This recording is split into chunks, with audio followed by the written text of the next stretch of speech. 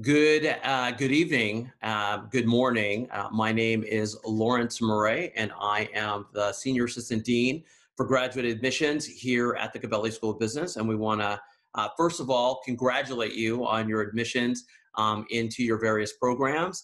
Um, and thank you for taking the, the time out of your schedules um, uh, this morning um, to join us for a very quick town hall um, to uh, answer some of your questions about um, the admissions process, uh, as well as um, answering of your questions related to uh, accepting your offer of admission.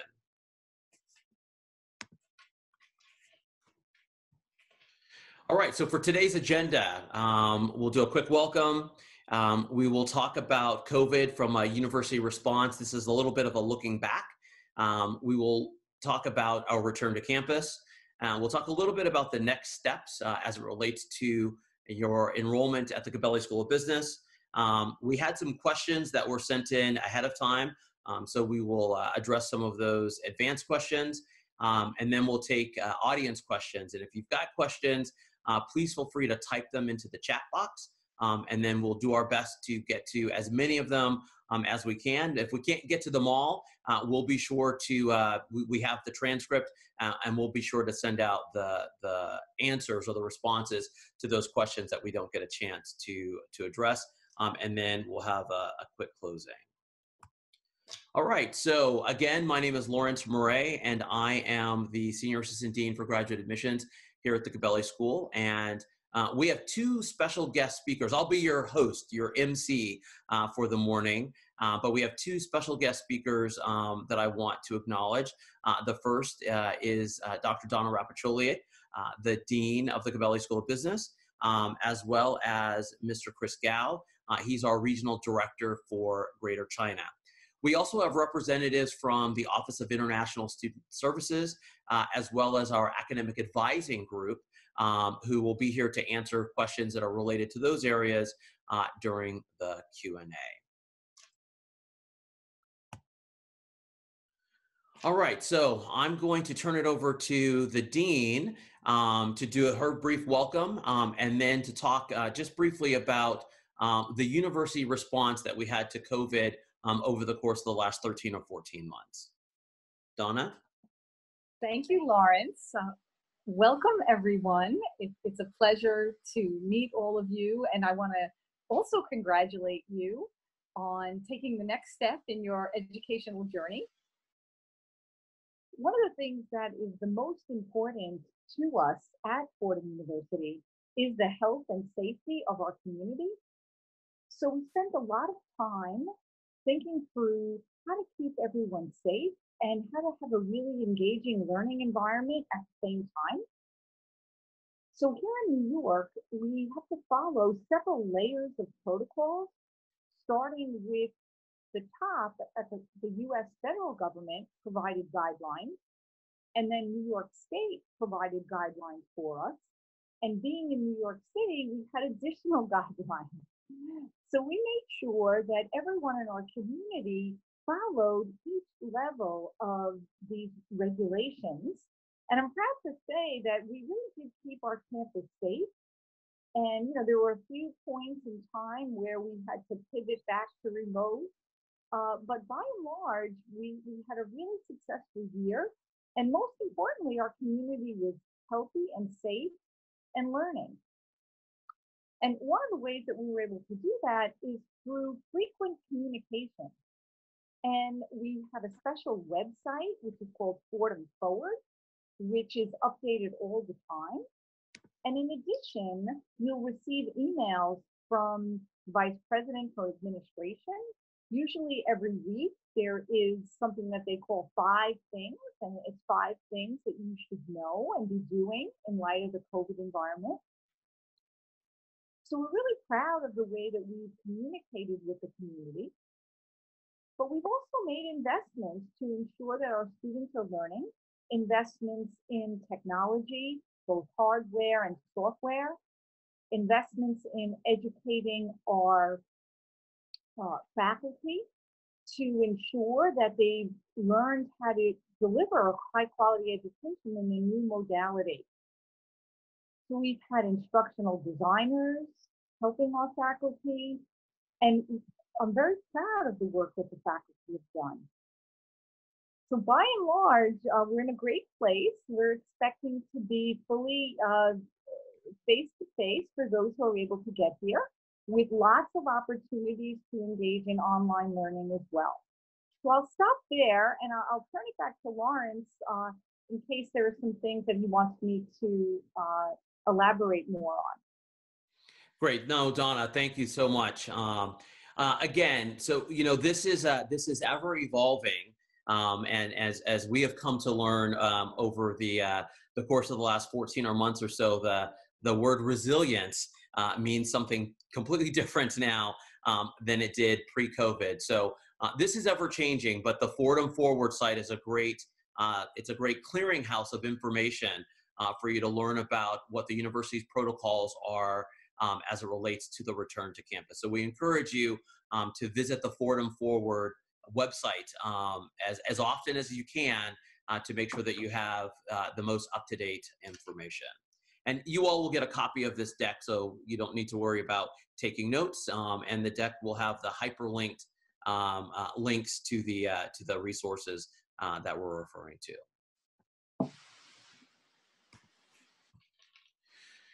Okay, so um, as Dean Rapaccioli mentioned, um, we are planning for a full range of in-person instruction and on-campus activities uh, this fall.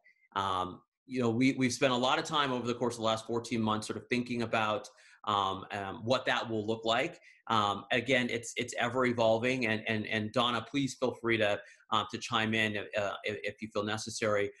we don't have all the answers yet um, to what um, on-campus engagement will look like, if there's some type of social distancing or mask wearing.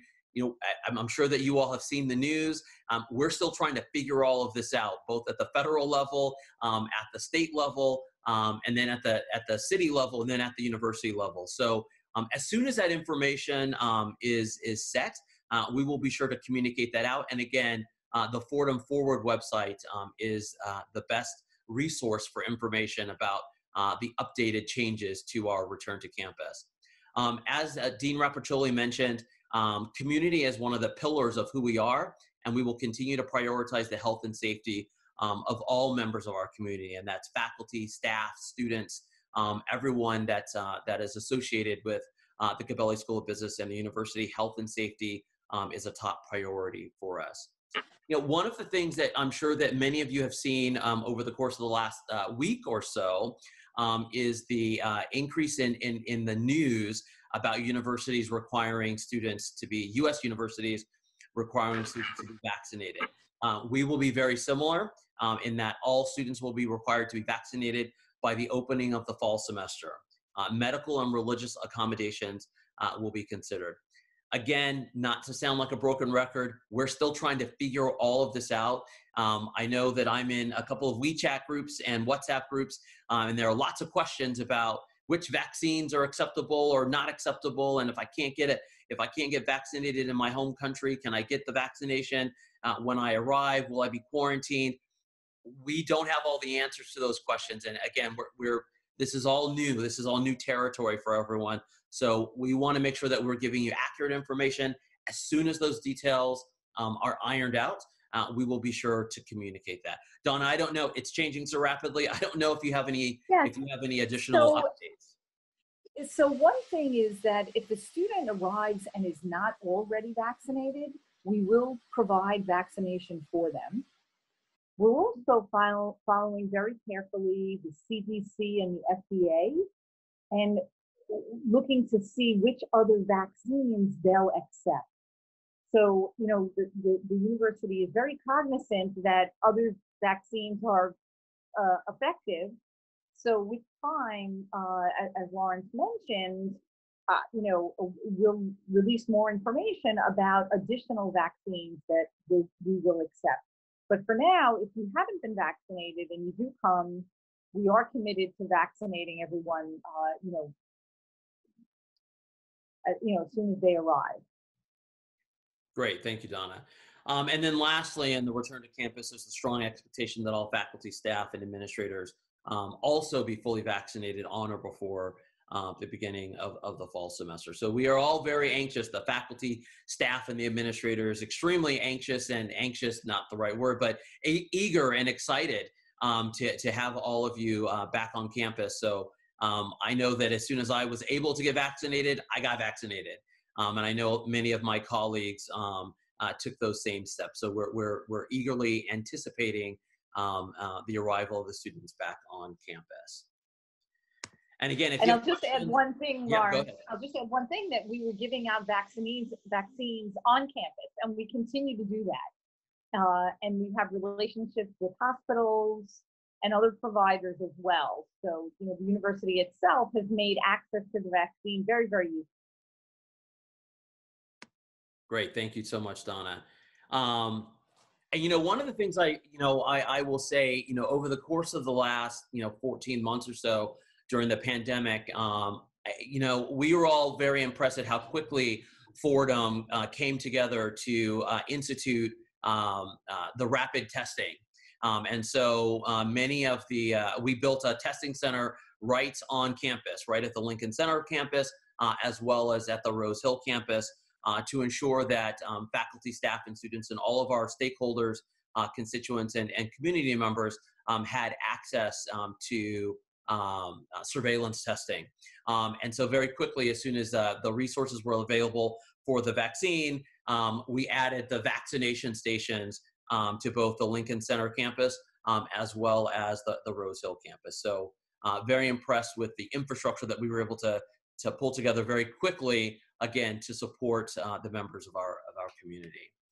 Um, so I'll just say uh, quickly, you know, in terms of the Gabelli School, um, we have a have strong commitment. The dean the dean mentioned earlier um, a strong commitment to provide resources and support to ensure that all of our students' needs are met, whatever they may be, embodying the true values of Jesuit higher education. Um, again, we will continue to prioritize the health and safety of our community um, across all spectrum of, en- of engagement. Uh, we don't know what that looks like yet, um, but um, as soon as those details are, are ironed out, we will, we will communicate that. Again, just to highlight um, that we will have a full range of in-person instruction and on-campus activities um, this fall. Some of the orientation activities um, actually um, happen during the summer, um, during the mid to late summer, and some of those actually have in-person um, activities as well as the online activities.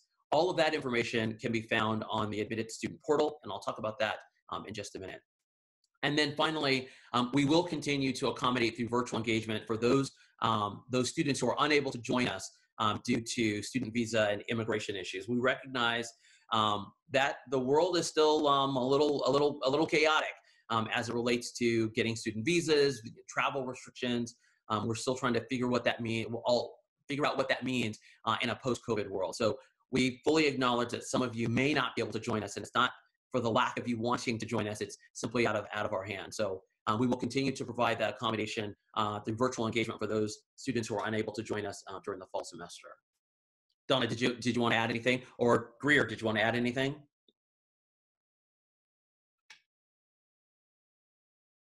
Uh, nothing to add, Lawrence. Thank you so much uh, for asking.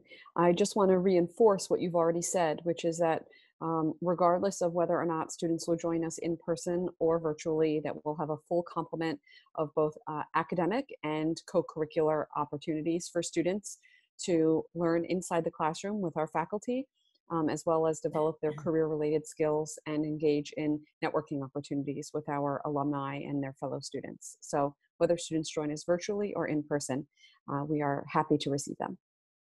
Great.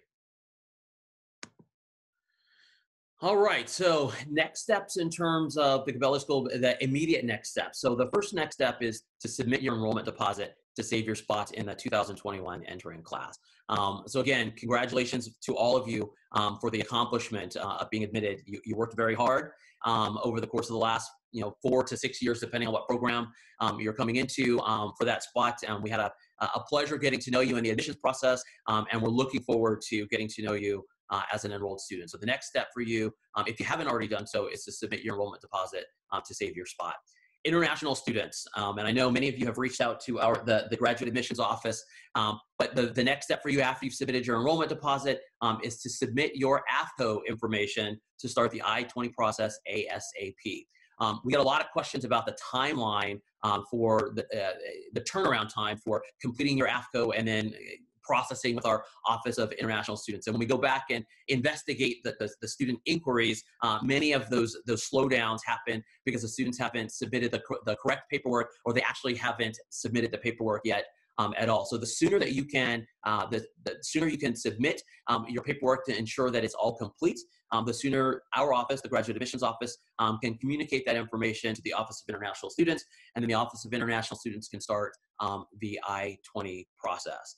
Typically, after we receive your completed and accurate AFCO, um, it takes you know sometimes between two to three days um, for it to go from our office to the Office of International Student Services, um, and from there it's usually somewhere between two and four weeks, uh, depending on um, sort of the, the, the volume that week um, for the turnaround uh, for the I-20. Um, and I know that many of you had questions during the preview week uh, about electronic I-20s. we do do both. Um, so you'll receive an electronic I-20 um, as well as um, the actual physical um, I-20. Um, as we mentioned during the preview week, um, you know, part of the accepting your offer of admission is claiming your student account, which generates your Fordham email. your electronic I-20s are sent to your official email of record, which is your Fordham email. so you'll need to make sure that you claim your account uh, to access your email so that you can access that electronic version of the I-20. Um, again, I mentioned earlier about staying up to date um, with the admitted student portal. So we're going to take a quick spin here to the admitted student portal so I can just show you what the main landing page looks like. Um, so here is the main landing page for our new admitted student portal uh, with information um, related to your transition from being an admitted student to being a deposited student to a, a matriculated student. Um, and so the information um, here um, is by program bundle. So if you look, there you go. All right, so here is the admitted student portal. Um, and if you look on the left, um, you can see the program bundles. Um, so whether in one of our master's programs, the full-time MBA, um, the professional MBA, and the pre-MBA, um, or the executive MBA. So when you click here, um, we will go to the master's programs. And then there's a menu of options for a variety of information uh, related specifically um, to uh, your particular uh, program bundle. So this information is changing on a regular basis. So we encourage you to visit the admitted student portal once a day uh, to ensure that you have um, updated information.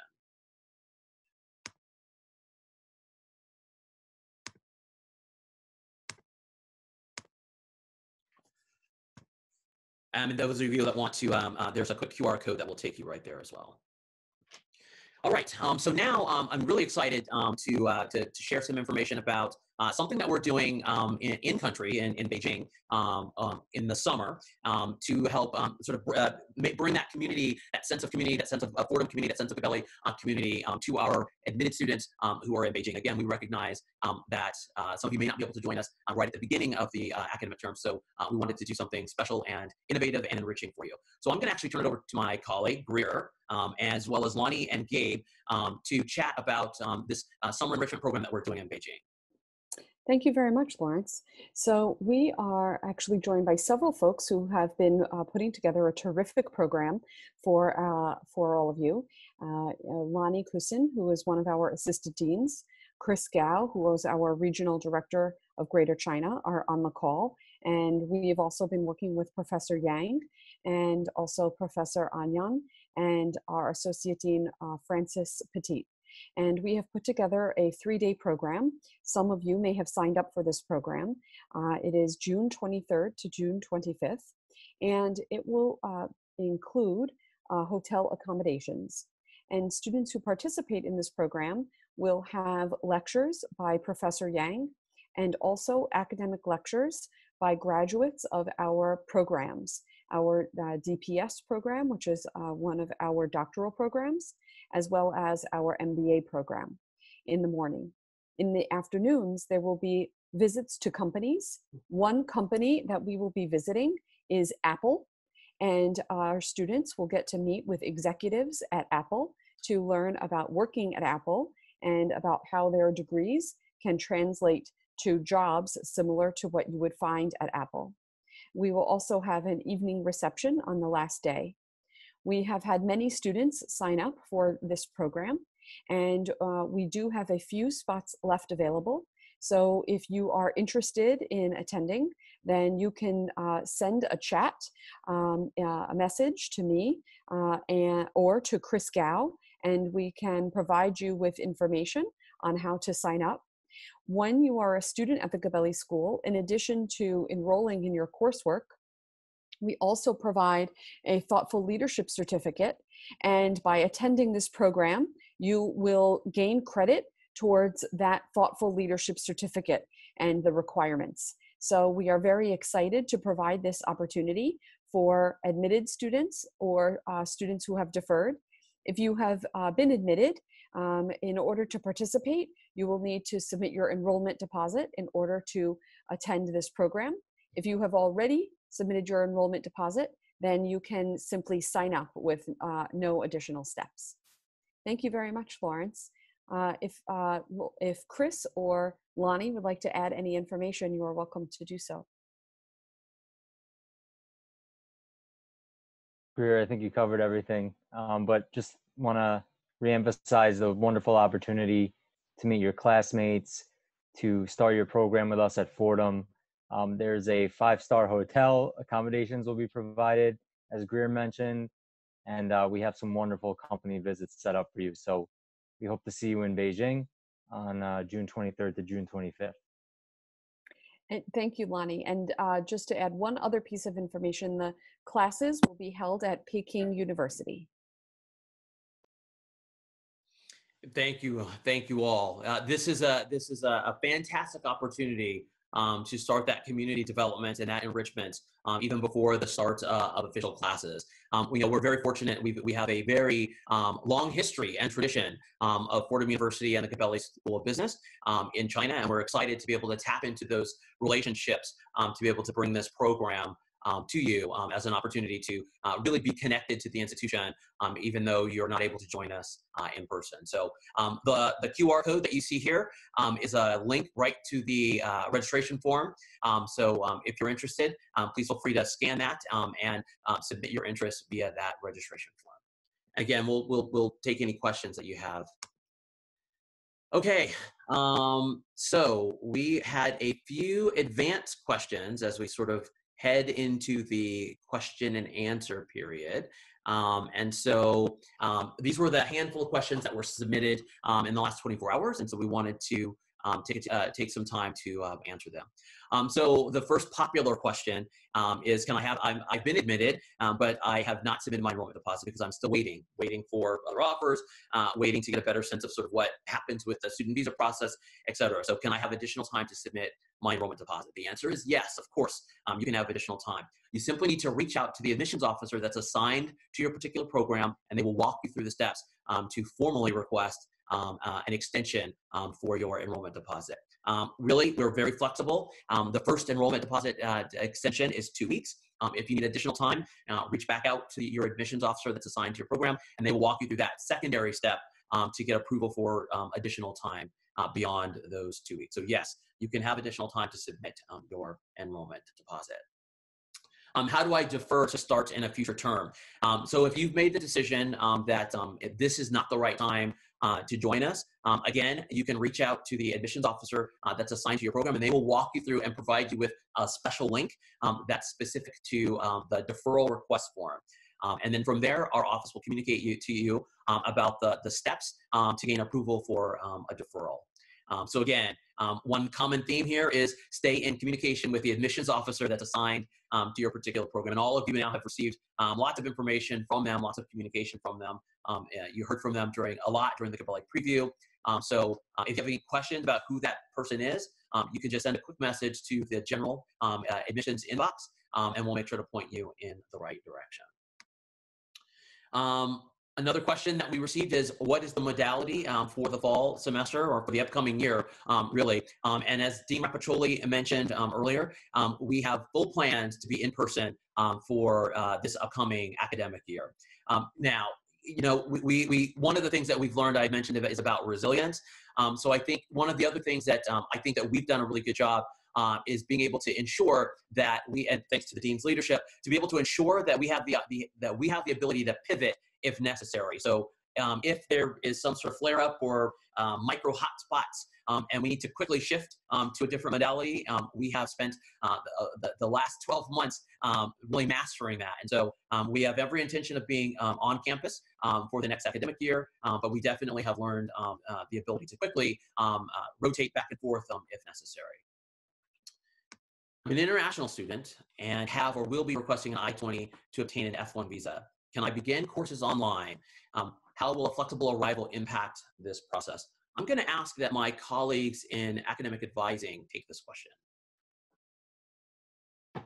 Um, yes, Lauren. So I will take a I will take a stab at this question. So if you are an international student and you are in the process of requesting your I-20, yes, you can begin classes online for the first part of the term uh, in the fall semester. Depending on your particular program, it may be possible to arrive uh, later than the first day of class, September 1st. In general, remember there is a grace period for arrival. So anywhere between September 1st and September 30th, that 30-day grace period, you will still be able to arrive without, you know, have, requesting a particular exception. Anything later than September 30th, you will need to speak with your academic advisor to see if it's possible for your program of study. So, well, so the short answer is yes, it's possible. The longer answer is you will need to speak with your academic advisor, depending on what program you are going to be enrolled in, to find out specifically about your particular situation, and they can better advise you. Great, thank you, Gabe. So again, the admitted student website has a lot of information, including the contact information for not only your assigned admissions officer, uh, but also um, the academic advisor uh, that's assigned to your particular program as well. All right, uh, next question is, um, if I must complete the entire MS program online, am I still eligible for OPT? I could take that one as well. Thanks. So on, for in this particular one, unfortunately, the answer is no. In order to be eligible for OPT, you must complete two terms of, of study in the United States. So depending on whatever term you arrive, that will be your first term. And then your second term will be the term in which you become eligible for OPT upon graduation. So it's important for you, if you are able to start the program online from your home country, that doesn't preclude you from still being eligible for OPT, but work very closely with your academic advisor so they can advise you on the pacing of your program completion so that you do have enough credits that when you arrive in the United States, you will be able to still pace, structure your credits to have two or three terms of study so that you can get either OPT, which is two terms, or CPT, which is three terms, at before or at the time of graduation. Always talk to your academic advisor is the long answer for everything. We are here to help you. Thanks, Gabe. And we love talking to students. they do. Okay, um, and then the last advanced question was, will there be a tuition fee restructuring if students are forced to start and stay online. Donna, would you mind um, responding to this?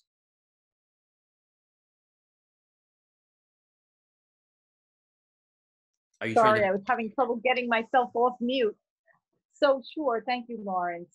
The, the answer is no, there will not be uh, a change in the fee. Uh, we charge the same uh, fee for both online and face-to-face. -face. We believe it's the same quality, it's just different.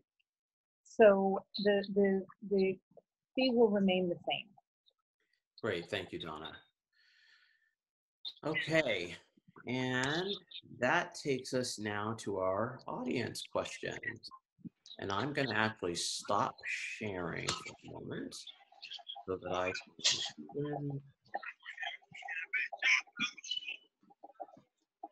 Okay, all right, so there's a little bit of feedback. So if you want to keep your um, your speakers on mute um, until you have a, unless you have a, a specific question, um, we're going to run through these questions really quick um, in the chat, and then we'll open it up for um, other questions.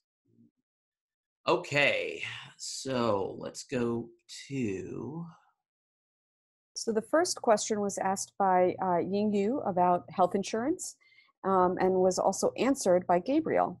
And the first question was regarding health insurance. I'm wondering do I need to purchase insurance from the campus if I already have health insurance? If not, how should I waive it? So Gabriel, since you answered this in the chat, would you mind also answering it here? And uh, yes, thank you. Yeah, of course. So it is possible to waive your health insurance. If you're currently in the United States, you do need to provide proof that you do have comparable health insurance, and there is a process that you would have to follow to request a waiver. If you are in your home country and you're not going to need health insurance in the United States, uh, yes, it's also possible to request a waiver. It's just a slightly different process, but the short answer is yes, you can request a waiver of the health insurance. And in the chat, there is a link to the web page that includes the process that you need to follow to request that waiver. Thank you, Gabriel. Thanks, Gabe. The next okay, so question. the next, oh, go ahead, Greer. Sorry. The next question is from Jade. And Jade asks um, I already had two vaccines in China. Is that okay for me to join in person in the fall semester? Do I need to take the American vaccine again? And so the, the answer to that question, Jade, I'm happy to answer that question, is that we actually are not quite sure yet.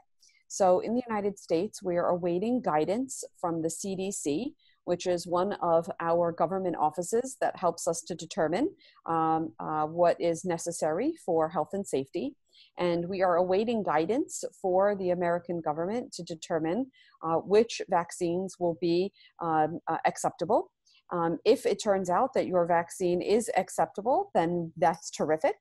And if not, then as uh, Dean Rapaccioli mentioned earlier, we will be happy to provide you with uh, a vaccine upon your arrival in the United States. Lawrence? Um, the next question um, is, and I, uh, Gabe covered this, but um, we'll just um, go ahead and ask it one more time. Um, the question about CPT, can I apply for CPT immediately if there's an intern opportunity or do I have to wait a certain time to be able to apply?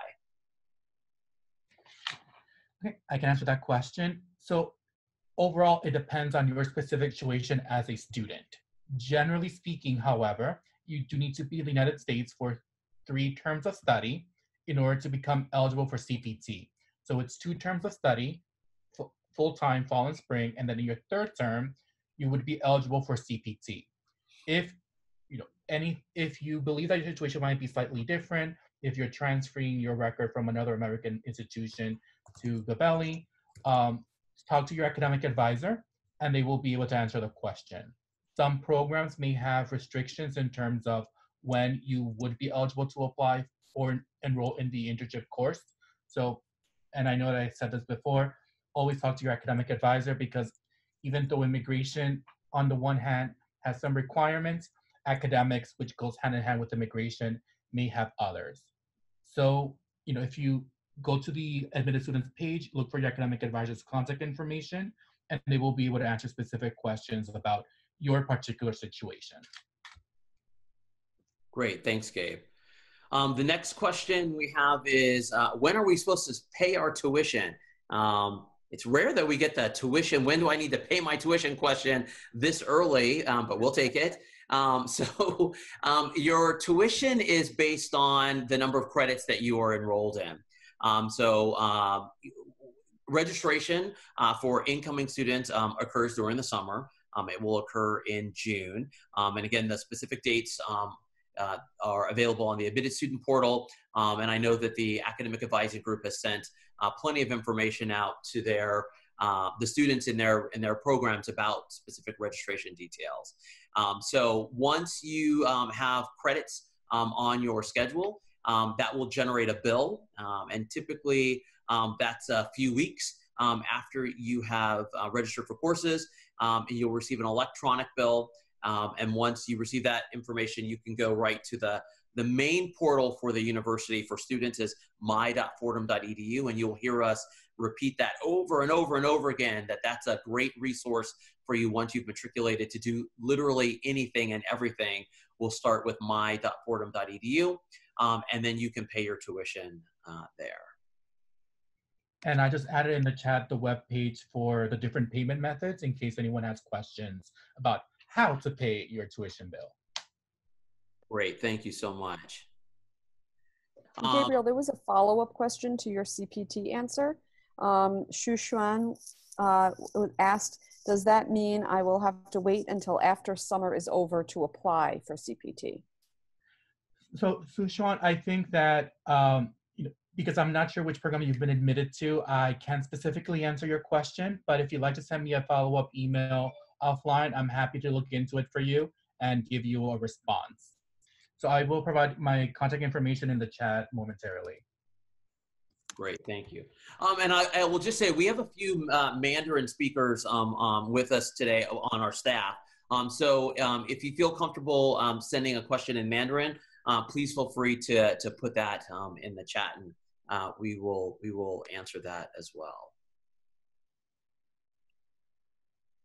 Okay, uh, regarding tuition, lots of tuition questions. Um, since my master's program is a fixed amount, um, but what if I pursue more credits than my program requires? Is there additional tuition per credit?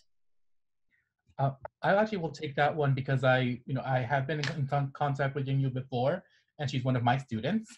So that flat fee uh, was before, was it was a, we had a flat fee for the quantitative finance program. Yes, that flat fee was before we uh, inaugurated the new curriculum starting in fall 2021. So you should have received an email uh, a couple, maybe last week, I believe, with an update about the new curriculum that flat fee is no longer the case, but the new number of credits in the program, which is 39, is actually the same amount of tuition that you would have paid if you had the flat fee. So the answer with, to your question is, you know, we no longer have a flat fee, but if you add any additional courses on top of the 39 credits, you would just have to pay for the number of credits you enroll in. Great, thank you, Gabe. Um, and again, I, I want to, it's an open invitation um, for, for everyone that's joining us. Um, if you, I know that we have some family members joining us, uh, please feel free to, um, if you feel more comfortable uh, writing your questions in Mandarin, um, please feel free to do that um, in the chat and, and we will do our best to get to them as well. Okay, here's a question. Do you have any practical suggestion about finding housing in New York City? Lonnie, maybe you can answer this question. Yeah. So we actually uh, had a webinar last week for uh, finding housing accommodations in New York. Um, we do have somebody that it's an alum who graduated from the MBA program a number of years ago who is open to receiving your emails if you have questions and you want to talk directly with him um, about certain areas to live, you know, what it's like to look for housing in New York, um, what you can expect to pay in certain areas. The other option is we do have graduate housing in, in a building called Wilshire Plaza. It is also possible to apply for dormitory housing. Um, but in the, if you want to provide me your email address, um, I will, uh, I will reach out to you directly and connect you with Mark Davis, who is our alum who can help you with the housing question. Great, thank you so much. Yeah, Lonnie, uh, sorry if you can add a quick point on the housing. Sure. Yes, so we, we are for, for international students, especially Chinese students, we always uh, have, the, uh, you know, they always create a WeChat group, you know, pre-departure. And also uh, there's a current student WeChat groups and there's many uh, information on housing, you know, to share apartment. And to me, normally uh, many of our Chinese students find housing uh, opportunity or information through the WeChat groups. So that's uh, that's one way. Are uh, are you able to share the WeChat group? Uh, sure. I mean, usually they, they can find their WeChat groups, uh, you know, through um, you know the website and all that. I, I have several, so okay. I can share my email address here. If you are looking for that WeChat groups, uh, please send me an email. And and Jade, we've talked before, so I'll connect with you um, if if you want to speak to Mark as well. And then, and Lawrence, do we have a recording of last week's webinar by any chance, or I, I can ask Cynthia? We could send that out. Yep. Okay. It's uh, it's our if, if it's it's it's already sent out. Okay. Great. All right. Next question. Um, I have a question about uploading the AFCO file. Uh, what should I do if I get an error message showing invalid format? Um, though I was uploading a PDF file. Um, so Luau, um, if you want to send me um, a direct message, um, someone in our operations team can get back to you uh, with how to resolve that that error. And my email, um, which is on most of your admissions letters, but um, I'm putting it in the chat right now. And All right. Lawrence, while you do that, there, I think there was one question right before that. Yep. Go. Oh, go ahead. Uh, when will we start to choose courses? Lonnie, can you field that one? Yes, so we actually have an email that's about to go out from our our Slate Communications. Um, so you'll be receiving an email about webinars that each of the different programs are hosting over the next few weeks. The registration for new students is to take place on June 14th, but we want to make sure you're as prepared as possible. So if you're an accounting or tax student, you'll get an email from myself. If you're a finance or management student, you'll be getting an email from Gabriel.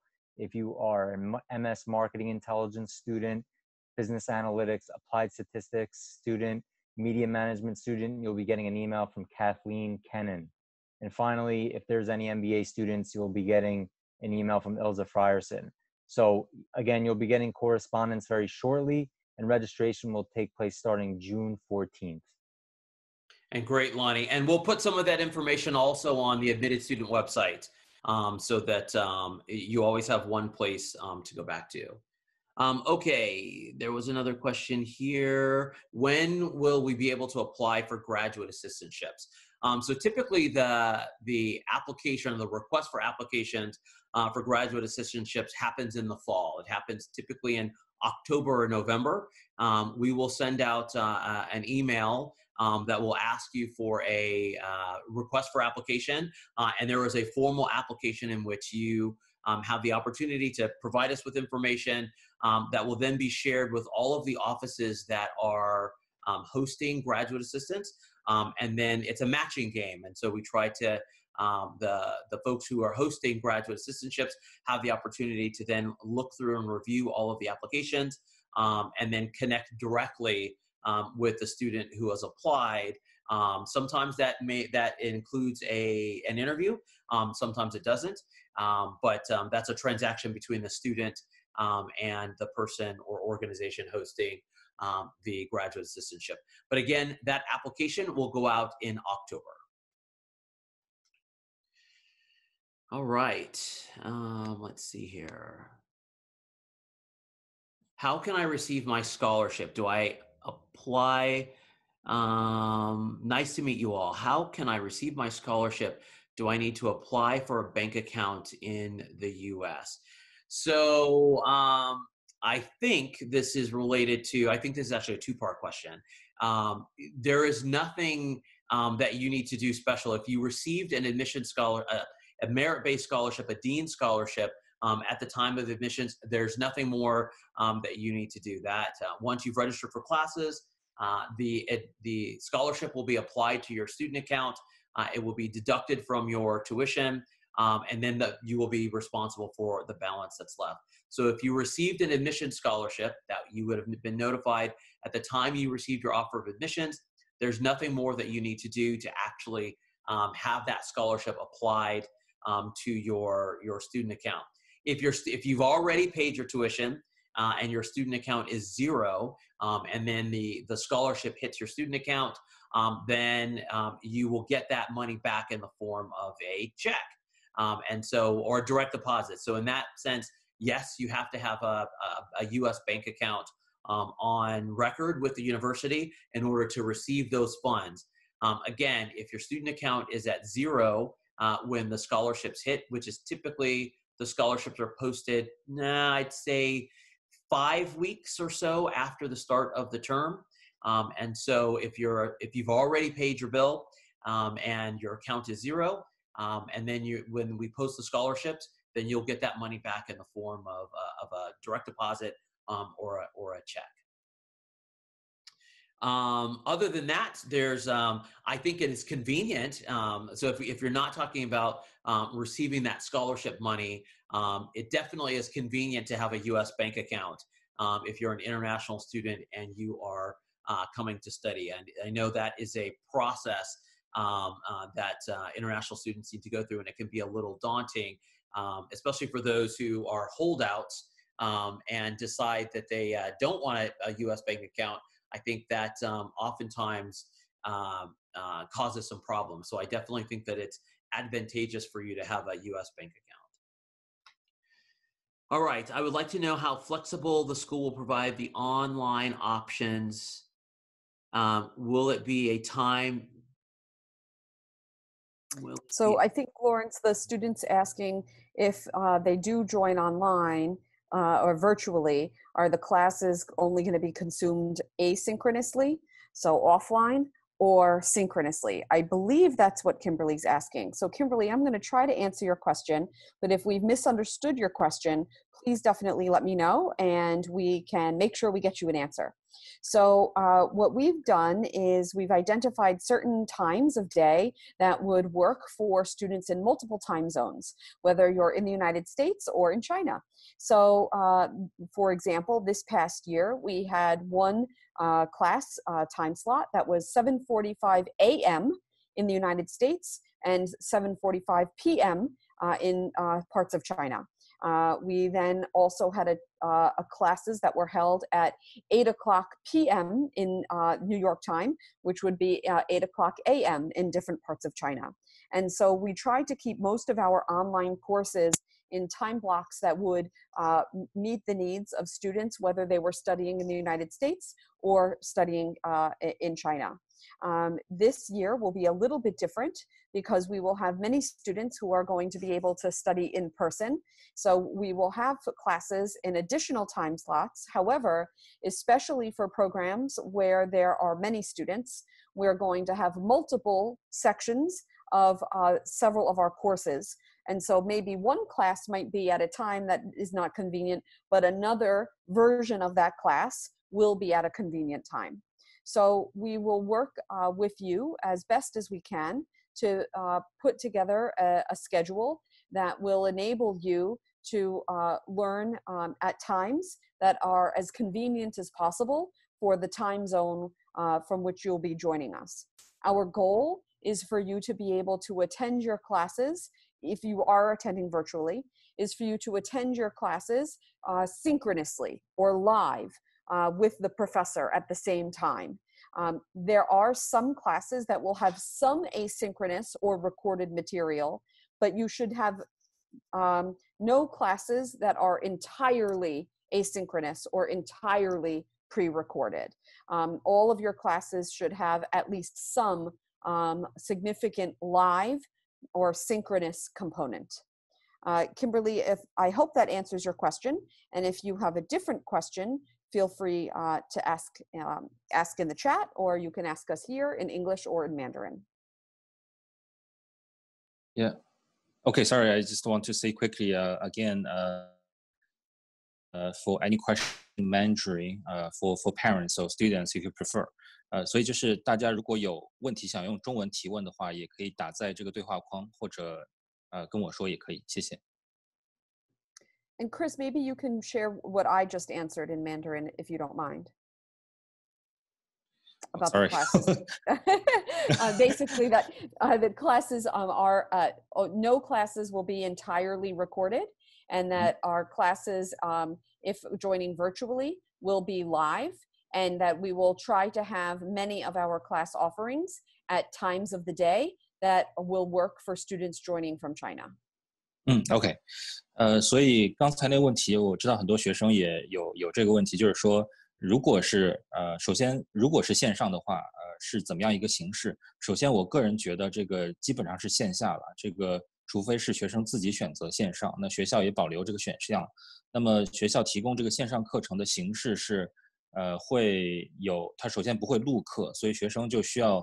呃，在这个实时的跟其他的在校的学生一起上课，那这个上课的时间点会选择在呃不同的时间，包括美国时东部时间的早上或者晚上，方便我们呃其他时区的学生能够上课。比如说中国的学生，呃，然后这个模式我的理解是它会一直持续到整个学年啊，除非是没有学生呃选择这个线上课程了，所以不会出现就是说呃有学生必须要线上来上课，但是。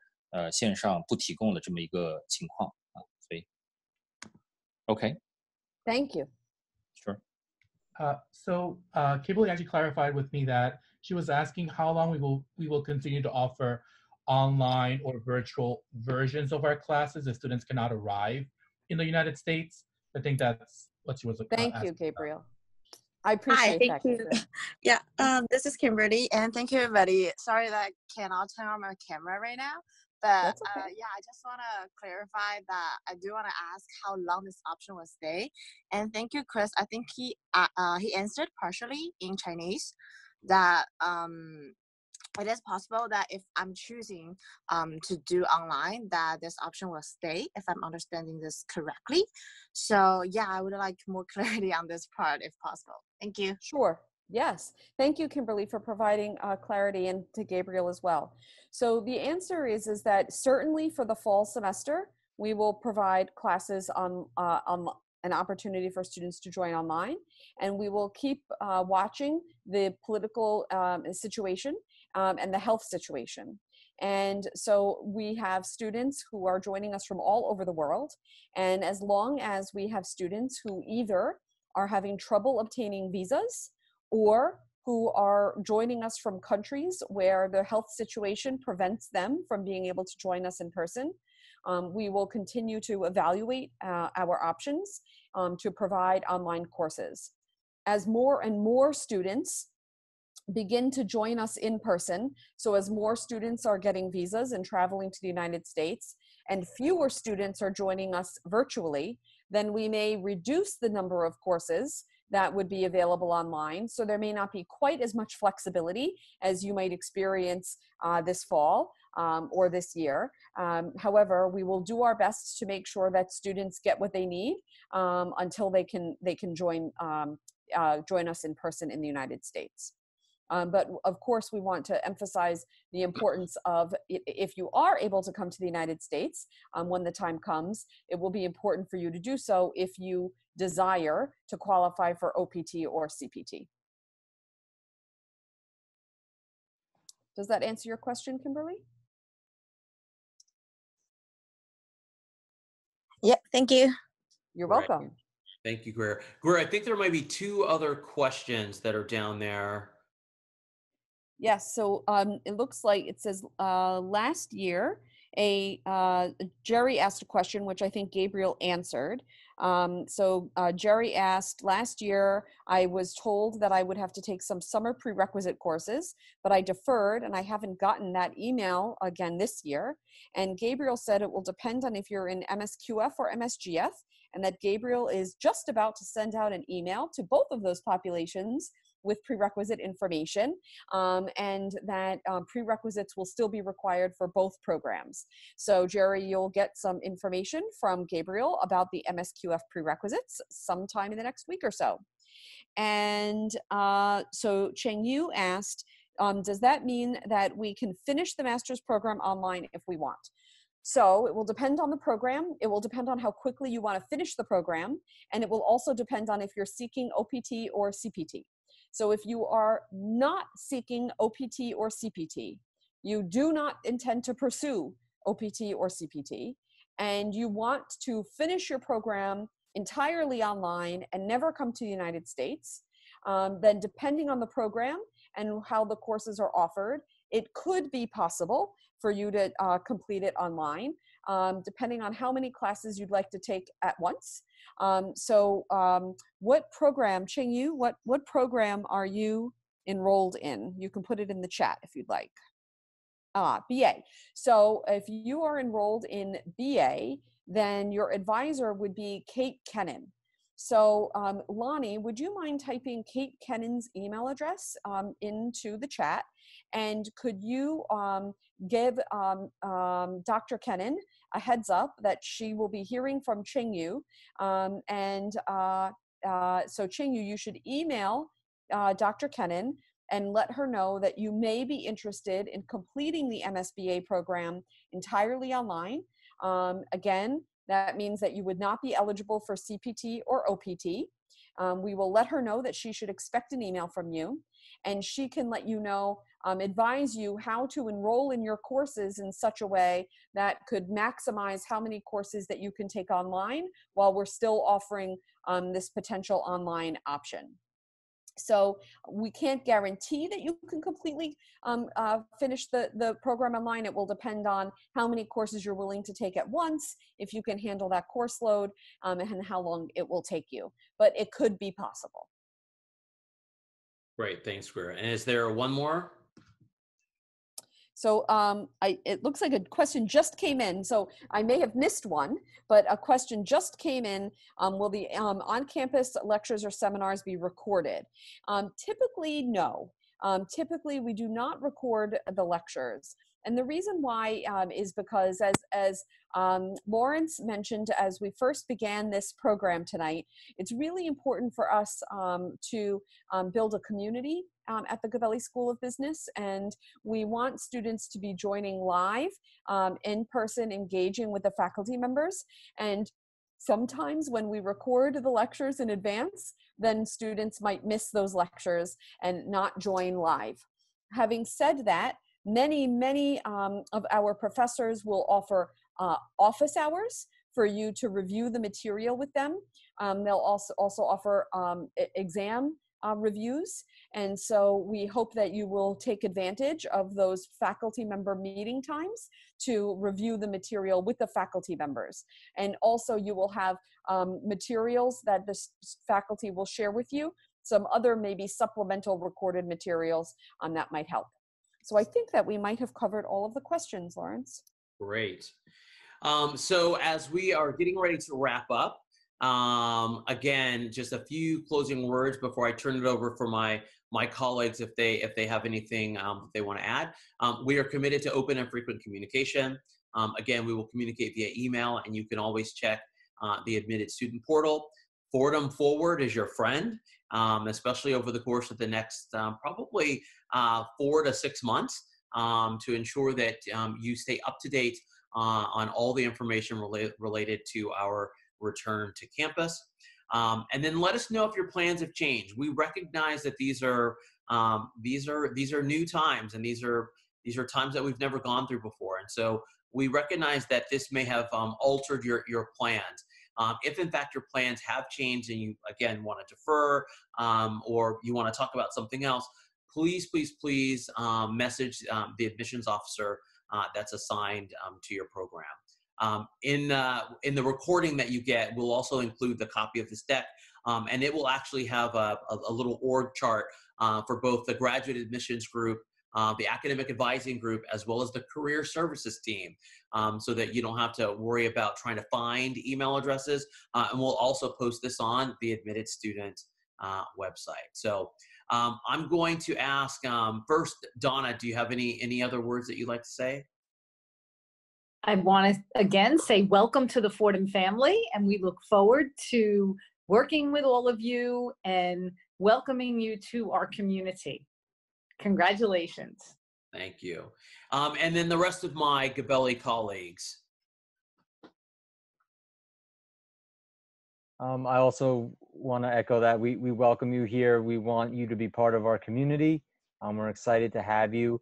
Um, I put my email address in the chat box. So you know, feel free to email me whatever questions you have. Um, we're here to support you as best as we can leading up to the start of the fall and into the fall semester and during your entire time here. So, so welcome, and I look forward to meeting you all. And I just want to echo what Lonnie said. You know, we look forward to meeting you in the fall, but please don't hesitate to reach out to us at any point in the upcoming weeks and months. Uh, we always enjoy talking with students, even if it's uh, via Zoom. And be on the lookout, check your Fordham email um, consistently and often. We will be inviting you to webinars about fall registration and maybe some online events so you can get to know some of your peers in the program, maybe second year students.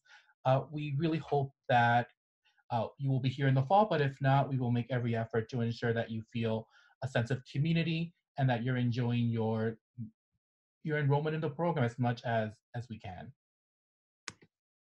Great. Uh, and I want to again thank um, all of my colleagues um, at the Gabelli School um, for taking time out of the, their evenings. It's nine o'clock on a Monday night. Um, so thank you very much um, for, for helping to put this on. Uh, and more importantly, we want to thank all of, we want to congratulate all of you again um, on your admission and the accomplishment. Uh, and we want to thank you for joining us uh, to learn a little bit more about uh, what these next steps are and what that what that means for you. Um, as always, if you have any questions about anything, please don't hesitate.